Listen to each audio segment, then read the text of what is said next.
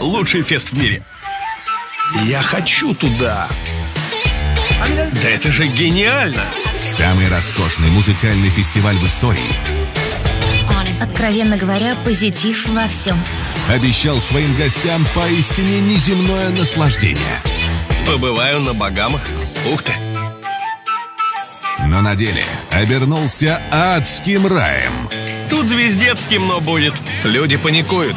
Самая грандиозная афера 2017 года, Белые любят кемпинг, но не любят сюрпризы.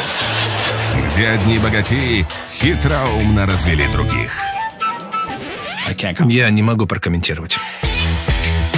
Афера фестиваля Fire.